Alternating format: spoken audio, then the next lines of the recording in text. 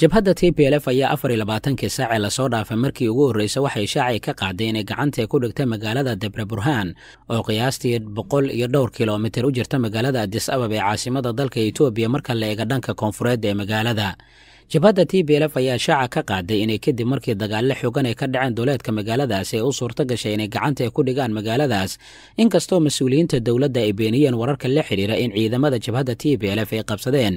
Magaalada debre burhaan oo qiyaastii boqol sideed iyo labaatan kilomitir u jirta magaalada adis ababa jabhaddu waxay sheegtay inay hadda magaalada adis ababa ay u jiraan dhowr boqol oo kilomitir ayna suuragal tahay maalmaha soo socda inay weerar ay ku qaadaan. Inkastoo mas'uuliyiinta dowladda iyo wasaaradda warfaafinta ay shaacay ka qaadayaan in ay gebi ahaanba been abuur ay yihiin macluumaadka la xidhiira in ciidamada t b l f ay gacanta ay ku dhigeen magaaladaasi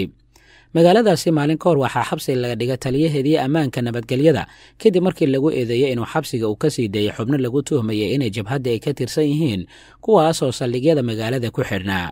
haddii ay dhowowdo gacan ku-dhigidda magaalada debre birhaan oo ay gacanta ku dhigaan jabhadda t b l f waxay ka dhigan tahay inay suuragal tahay inay weerari karaan magaalada adis ababa taasoo digniinaheeda kama dambaysta ay soo saarayeen mas'uuliyiinta safaaradda maraykanka ee magaalada adis ababa waddamada reer galbeedka ayaa mar walba ku celcelinaya muwaadiniintooda inay isaga baxaan adis ababa iyo guud ahaan dalka etoobiya kanada faransiiska maraykanka iyo dowlado kale ayaa saacado ka hor soo saaray. Digniinta kama dambaysta ee muwaadiniintooda ay u jeedinayaan taasi oo ku aadan inay isaga baxaan adis ababa inkastoo jabhadda sidaasi ay sheeganayso dowladdana ay beenisay haddana ciidamada uu hogaaminayo ra'iisul wasaaraha dowladda etoobiya ayaa guulo la taaban kale ka gaaray dagaalada ka dhacaya deegaanada buuraleyda ah ee bati burqa iyo sidoo kale deegaanada kombolja oo gobolka canfarta ka tirsan.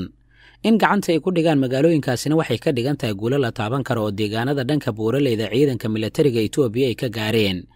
milatariga etoobiya waxaa lagu eedeynayaa taageero kala duwan inay ka helayaan waddamo dhowr ah waxaana ugu horreeya imaaraadka carabta oo warbaahinta aljaziira ay soo bandhigtay inay hub noocyadiisa kala duwan ay geeyeen. Deegaano ku yaalla koonfurta magaalada adis ababa ee caasimadda etoobiya laakiin dowladda etoobiya arrintaasi kama aanay hadal. Sidoo kalena wasaaradda warfaafinta ee dowladda etoobiya ayaa waxay faahfaahin ka bixisay hadalkii ka soo yeeray dowladda maraykanka ee ku aadan mar walba inay diyaara u yihiin inay ka jawaabaan culeys kasta oo safaaradooda adis ababa soo wajaha. Tallaabadaasi oo ay qaadi doonaan ciidamada dowladda maraykanka ee ku sugan gudaha dalka jabuuti qoraal ka soo baxay wasaaradda warfaafinta ee dowladda etoobiya ayaa waxaa lagu sheegay intaasi ay ka dhigan tahay faragelin toos ah sidoo kalena ay lagu xadgudbaya madax bannaanida dowladda etoobiya haddii ay dhacday sida lagu sheegay qoraalka. Ra'iisul wasaaraha dowladda etoobiya abiy axmed ayaa sheegay in mar haddii guulo la taaban kara ay soo hoyeen ay gacanta ku dhigi doonaan deegaanada kale ee gacantooda ka baxsan. Sidoo kalena jabhadda aysan u ogolaan doonin inay carqaladeeyaan deganaanshaha gudaha dalka etoobiya. Waxaan doonaynaa inaan gacanta ku dhigno deegaano kale oo dhowr ah ama etoobiya ama nolosheenna ayuu yidhi ra'iisul wasaaraha dowladda etoobiya oo warbaahinta kula hadlaya deegaano ka tirsan gobolka canfarta kadib markii markii ugu horreysa uu ka soo muuqday warbaahinta labadii maalin ee la soo dhaafay oo dagaalka uu ka qayb galayay. Xaaladaha etoobiya waxay u muuqanayaan inay sii cakirmayaan dagaalada weliba ay soconayaan. Inkastoo aaga kala duwan dagaalada ay ka socdaan haddana ciidanka milatariga etoobiya ayaa sheegaya guulo la taaban kara inay gaareen waxyaabaha ka soo kordha warbaahinteenna iyo macluumaadyadeenna kale ayaan kugula wadaagi doonnaa insha allah. Markaana aan eegno macluumaadka ku saabsan maxaa xilligan keenay isu soo dhowaanshaha turkiga iyo imaaraadka carabta. Madaxweynaha dowladda turkiga rajab tayib erdogan iyo dhexal sugaha abudabi sheekh maxamed bin zaayid al nahyan ayaa ankara ku kala siixday heshiisyo dhowr ah oo maalgashi iyo iskaashi isugu jira xilli labada wadan ay dib u wanaajinayaan xiriirkoodii xumaa sannadihii ugu dambeeyey dhaxal sugaha loo arkay inuu yahay ninka ugu awoodda badan isutaga imaaraadka carabta islamarkaana jiheeya siyaasadda arrimaha dibadda ee waddankaasi ayaa markii ugu horreysay muddo sagaal sano kadib booqday gudaha dalka turkiga. Khilaafka diblomaasiyadeed ee u dhexeeya ankara iyo abudabi ayaa saameeyey waddamada bariga dhexe waxaana labada wadan ay kala taageerayeen dhinacyada ku dagaalamaya libiya xasradaha ka taagan qaliijka iyo weliba muranka salka ku haya bariga biyaha dhanka bari ee mediteraneanka wasiirka arrimaha dibadda ee dowladda turkiga movli javesh oglo ayaa bishii sebteembar warbaahinta u sheegay in jawi wanaagsan uu dhowaan uu geli doono xiriirka turkiga iyo imaaraadka carabta. Haddaba muxuu yahay heshiiska maalgashi? Dhaxal suga sheekh maxamed bin zaayid al nahyaan ayaa shaaca ka qaaday in sanduuq maalgashi uu ku kacayo toban bilyan oo dollarka maraykanka uu dalkiisa ugu talagalay dalka turkiga siday baahisay wakaaladda wararka ee wam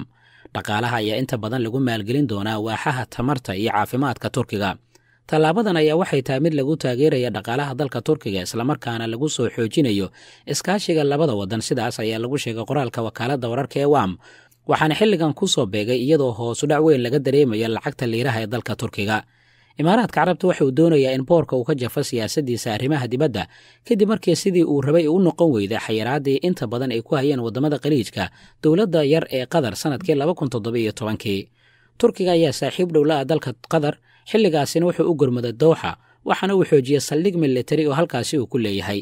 Shuruudaha ay wateen afarta waddan ee go'doomiyey qatar waxaa ka mid ahaa in dowxa gebi ahaanba ay eeriday ciidamada dowladda turkiga balse taasi lagama yeelin oo waxaa lagu tilmaamay mid meelka dhac ku ah madax bannaanida dhuleed ee dalkaasi yar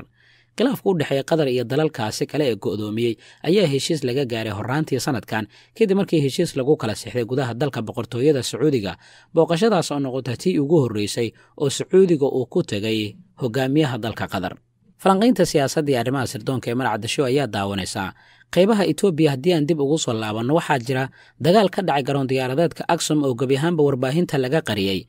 afar maalin ilaa shan maalin ka hor dagaalle xoogan ayaa ka dhacay garoon diyaaradeedka magaalada aksom halkaasoo gacantii ay ku hayeen ciidamada ammaanka ee jabhadda t p l f. Bishii nofembar ee sannadkii la soo dhaafay ayay dagaalle xoogan isla garoonkaasi ay ka dhaceen kuwaasi oo sababay t p l f in ay burburiso garoon diyaaradeedka magaalada xilligaasoo ciidamada ammaanka ee federaalka etoobiya gacanta ay ku dhigayeen magaaladaas.